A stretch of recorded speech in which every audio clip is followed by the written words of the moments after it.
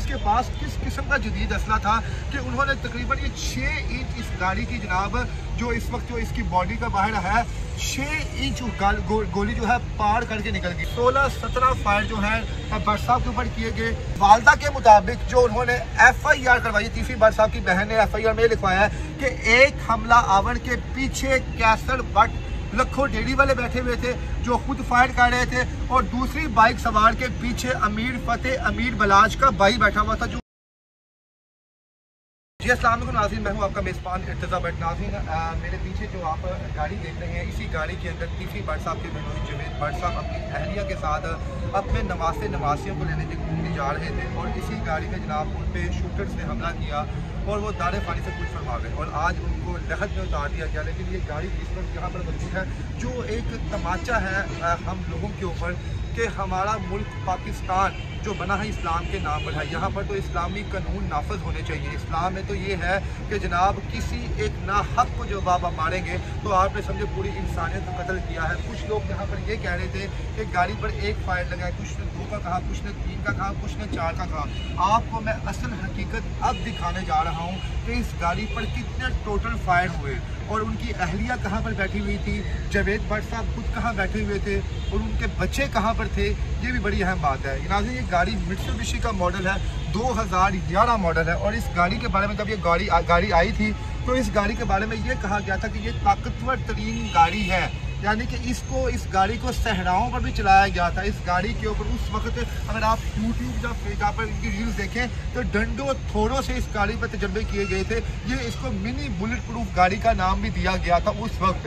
اب یہ بات سب سے اہم ہے کہ شوٹرز کے پاس کس قسم کا جدید اسلحہ تھا کہ انہوں نے تقریباً یہ چھ انچ اس گاڑی کی جناب، جو اس وقت جو اس کی باڈی کا باہر ہے، چھ انچ گولی جو ہے پار کر کے نکل گئی۔ اور جو شوٹرز تھے، یہاں پر آپ آئیں، آپ کو میں ایک چیز دکھاؤں۔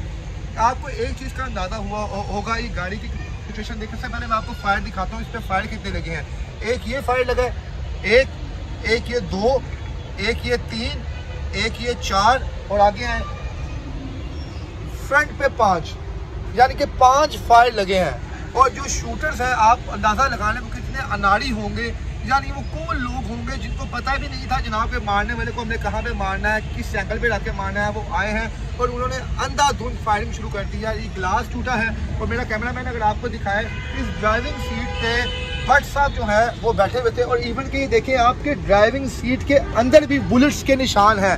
یعنی ادھر آئے میرا کیمرہ مین آپ کو بھی دکھائے بیک سیٹ کے اوپر بھی بلٹس کے نشان یعنی کم و بیش یہاں پر کم از کم بارہ سے چودہ فائر اس گاڑی کے اوپر کیے گئے ہیں، جو اس گاڑی کی موجودہ صورتحال ہے۔ اور بٹ صاحب جو ہے یہاں پر جب ڈرائیو کر رہے تھے، تو آف کورس تین چار فائر ان کے جسم پر بھی لگے ہیں، جو جو ایف آئی آر کے مطابق ہے یعنی کم و بیش سولہ سترہ فائر جو ہیں بٹ صاحب کے اوپر کیے گئے۔ ڈرائیور کے اوپر کیے گئے اور ان کے ساتھ اس سائٹ پہ جب ان کی اہلیہ بیٹھی ہوئی تھی، اللہ سوچل نے ان کو حفظ و مان میں رکھا، ان کی بھی ایک فائل پنڈلی میں لگا شولڈر میں لگا اور ایک ٹانگ کی پنڈلی پر لگا۔ یہ اس وقت گاڑی کا فل سینیریو ہے، آپ کو دکھا سکتے ہیں۔ اور یہ گاڑی جو ہے، آپ بخوبی جانتے ہیں، کسی نے پجارو رکھی ہوئی ہے یا لینڈ کروزر رکھی ہوئی ہے، کہ اس گاڑی کا جو لوہا ہوتا ہے، کتنا مضبوط قسم کا ہوتا ہے۔ اور یہ آپ پسٹل کے فائر تو یہ نہیں لگ رہی یہ اب جب وہ مجرم پکڑے جائیں گے، وہ شوٹرز پکڑے جائیں گے اور جب وہ سامنے تفتیش ہوگا تو اصل کہانی سامنے آ جائے گی کہ جناب کتنے فائرز اور کون کون سا ویپن انہوں نے استعمال کیا۔ البتہ جو حمزہ جوید صاحب ہیں، جو حمزہ جوید صاحب کے جو والد صاحب، جوید بھر صاحب ہیں، انہوں نے اپنے ایف آئی آر میں کیسر بٹ لکھو ڈیری والا کو نامزد کیا ہے اور امیر فتح کو جناب اس ایف آئی آر میں نامزد کیا اور ان کی والدہ نے یہ کہا کہ میں اس سائڈ پر تھی جوید بٹ صاحب ڈرائیونگ سیٹ پر تھے۔ دو شوٹر آئے ہیں۔ دو شوٹر دائیں سائڈ سے آئے ہیں۔ دو شوٹر بائیں سائڈ سے ہیں۔ پہلے آگے آگے ٹریفک فلو تھی، گاڑی یہاں پر روکی ہے۔ اور انہوں نے سیدھا آگے یہاں پر فائر کیا۔ ہے میرا کیمرہ مین یہاں پر آپ کو اس اس اینگل سے بھی تھوڑا دکھائیں۔ پہلے انہوں نے سیدھا فائر کیا ہے۔ بٹ صاحب نے تھوڑی سی گاڑی روکی ہے۔ سمجھنے کی کوشش کی کہ ان کے ساتھ چل کیا رہا ہے۔ رائٹ سائڈ پہ ٹریفک روا دوا تھی۔ اور اس کے بعد انہوں نے سیدھا یہاں پر آ دو بائک سواروں نے آئے آگے اور ٹھا ٹھا ٹھا یہاں پر انہوں نے اپنے فائر مارنا شروع کر دی ہیں۔